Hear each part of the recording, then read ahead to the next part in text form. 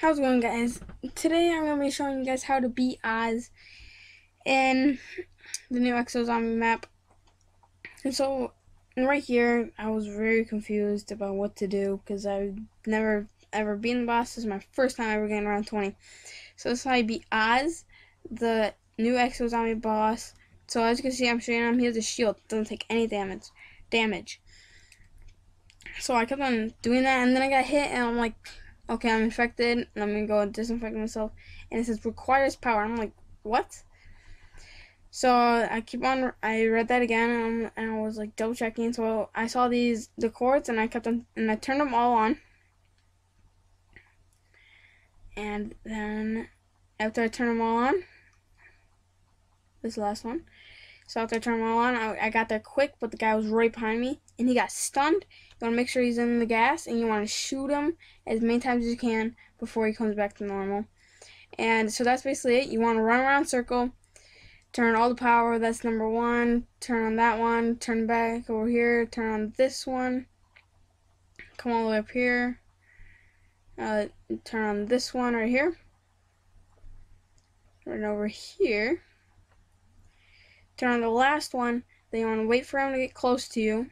Wait for him to get close. He gets close to you. Then then you use infection cure. And and then you shoot him as many times as you can. And then he has a shield again after he's done. Uh, so you want to keep on doing that. And then when you're done, well, then you when you're done beating him, well then it, it, you will teleport back, which I will show you in a second. And so you want to keep on doing this, but the zombies are going to start to come.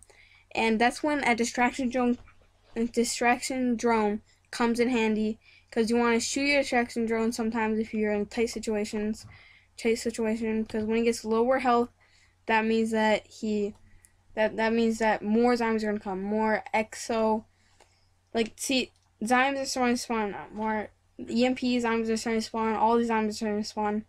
And so that's why I would use that because if he's coming, well, you want to use it.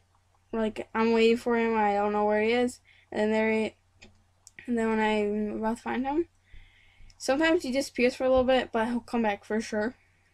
So you to wait for him, and then when he comes back, once you'll know when a huge explosion, he's gonna come at you. You use it now, and then you shoot them as many times as you can, which I only had three bullets and we'll keep on doing that, and I'm going to go straight to the... Alright, so right here, you only have six seconds left, which I had right there. I only had six seconds left because I wasn't being very careful. There's gas coming from those things, so you can't step on those. You gotta run around, turn all these. This is the last time I'm doing it. And then, so you got, you can't double jump, or else you'll hit the, or else you hit the layers on the, on the top. And then you'll have all these zombies coming after you, which is super hard. Which, if I can do it, then you can do it for sure. So you want to wait for them, and then you want to use it right there. But, yep, you want to use it right there. You beat them, you get an achievement, and you also get a free max ammo. You get free credits, like I'll show you in a second. There's a credits, there's some credits right there.